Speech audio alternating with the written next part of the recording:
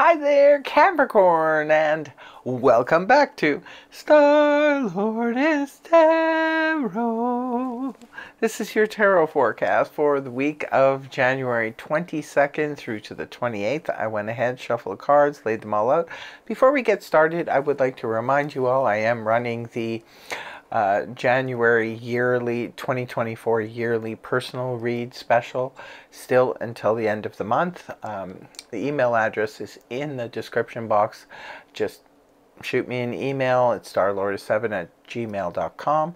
And I'd also like to remind you of the upcoming podcast, Starlord podcast, Sunday night on the 21st of this month. So uh, be sure to catch that if you want to be in the audience, part of the chat. We've been having a great time on these podcasts. This week's topic will be astrology, the topic on everyone's lips these days. So let's get to your reading, my dear Cappies.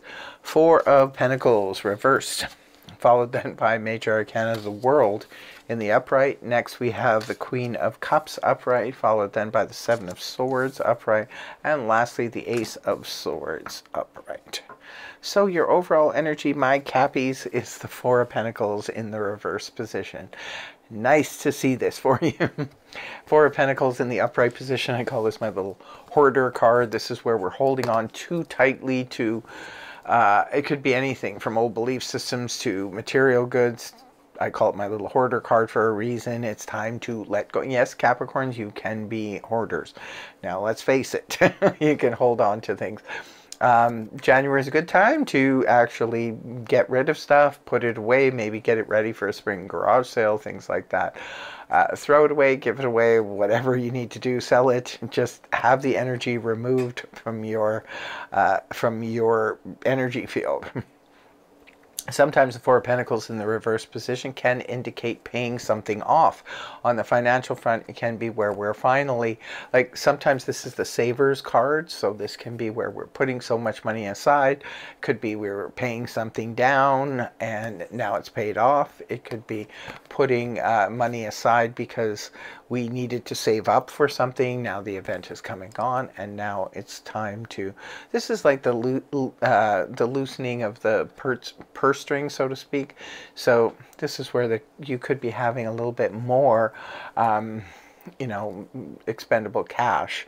It can also point back to the Three of Pentacles in the upright position, which can indicate cooperation in the people around us, cooperation in the home and in the workplace. Great news for those of you starting a new job. It could be that you are working with like-minded people and uh, cooperation, I always say, is very important, especially in the workplace.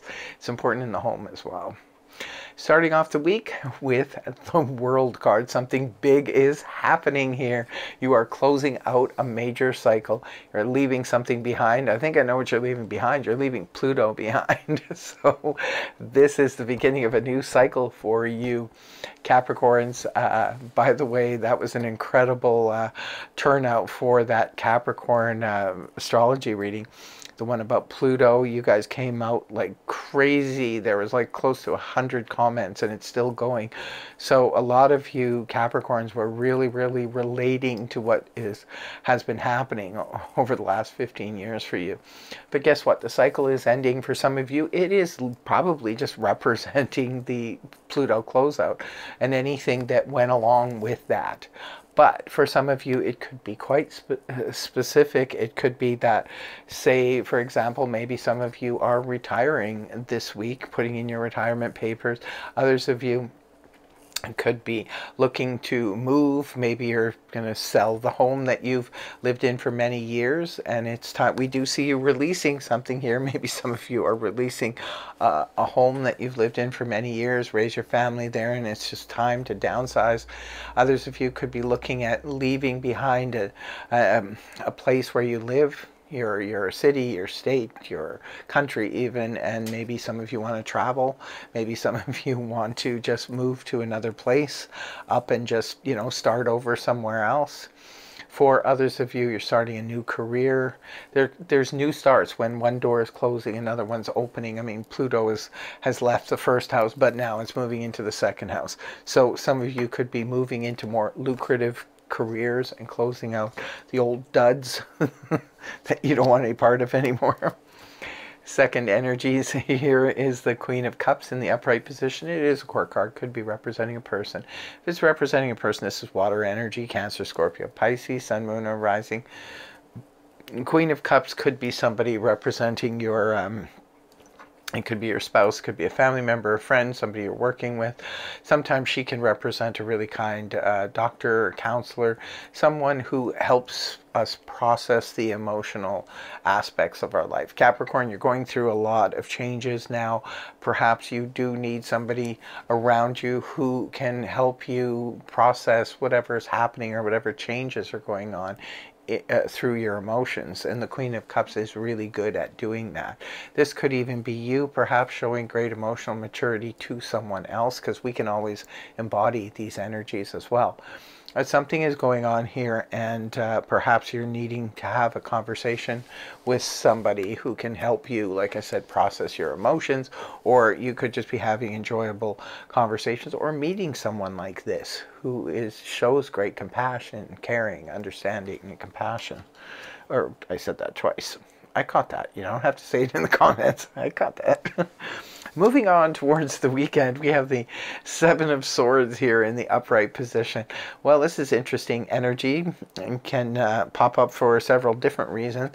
Sometimes this is known as the sneak thief sneak thief energy it can come up when uh, someone is trying to you know steal our ideas or hopefully not steal your identity or steal your belongings but it can be the sneak thief that tries to you know make away with uh, without accepting the consequences of dishonorable acts. So now this could be somebody you are dealing with towards the end of the week, or this could represent simply, and a lot of times it simply represents uh, avoidance. The Seven of Swords in the upright position can come up when we are avoiding dealing with a person, uh, dealing with a group of people, dealing with a subject matter.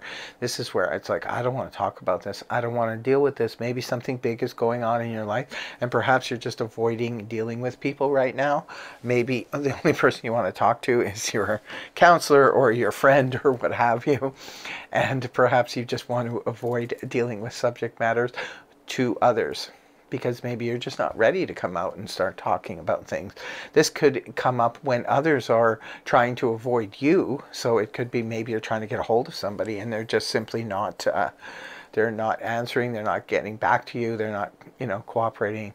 So interesting energy. And then the last is the Ace of Swords in the upright position. Well, this is the sword of victory. It's also the sword of truth and aces always bring in something new. So for you, Capricorn, this could be a new idea, it could be a new aha moment. It could also represent clarity of thought, where you're finally seeing things clearly. Now, it could have something to do with this Seven of Swords. Please do, you guys are my biggest commenters. Let me know. Um, once you watch this video, maybe you already know what this could possibly be about, or come back to the video after and if it plays out and let us know what's going on. Because they seem to be connected. They're both sword energy, so this is the sword of truth, the sword of communication. But it could be that you're dealing, maybe some of you are trying to avoid dealing with the truth about something. I'm not sure what's going on, or maybe you're dealing with somebody else who's trying to avoid the truth. You could be bringing the truth forward to someone. So I'm not sure, but well, it's a general read, so it could be any one of those scenarios, and maybe it's all of those scenarios for different Capricorns. But here, this could be uh, something rings true. You finally see the truth about something. Maybe you finally realize why this person has been avoiding you, or why this person has been sneaky. Don't know. Capricorn, you'll have to let me know. So looks like a big week for Capricorn. And I want to say thank you very much for joining me. I hope you have a fantastic week. And um, I really hope the reading helped you. If it did, please feel free to like, share, and subscribe. And I will see you again next week. Take care. Much love. Bye-bye for now.